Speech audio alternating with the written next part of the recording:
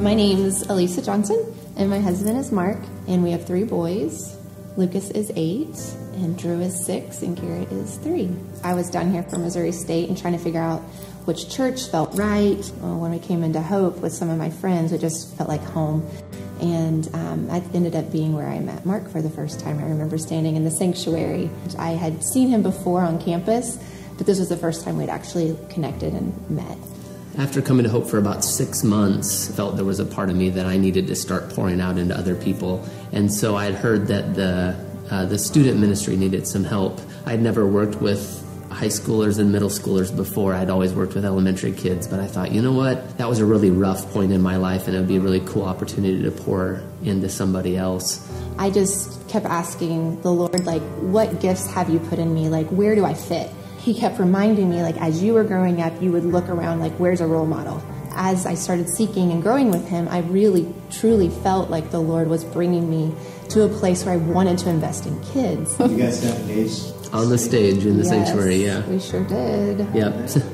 well, I, I got to take you back just a little bit because growing up, my father um, would be intentional to take me out on a date and he would bring me a rose and it was usually like a peach colored rose during those moments. And so growing up peach colored roses symbolized that. When i came to the church that night that he ended up proposing to me i had no idea that's what was going to happen that night.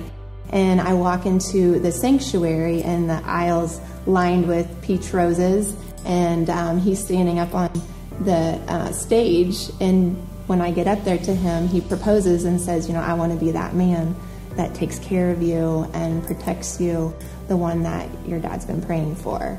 So it was amazing. and it was just a really special moment that I'll never forget. What inspired you guys to be like, let's adopt? Pastor Gedahun from Ethiopia and through Bright Hope Ministries is the pastor that um, we had heard speak from time to time. And I remember the very first moment hearing him, him talking about the orphanages in Ethiopia. And just in those moments, just hearing him, it's like something just was dropped in me that I was like, I can't get this off of my mind. One of the few times that I've felt like I've audibly heard the Lord, the Lord spoke to me, and Africa was was the word He shared with me. And uh, just as time unfolded, we both um, had been praying kind of what God wanted our family to look like. The Lord just used mo- those moments to lead us right to Ethiopia, and, and now we have Lucas. Drew, oh Drew, he he came and just just full of awe and wonder.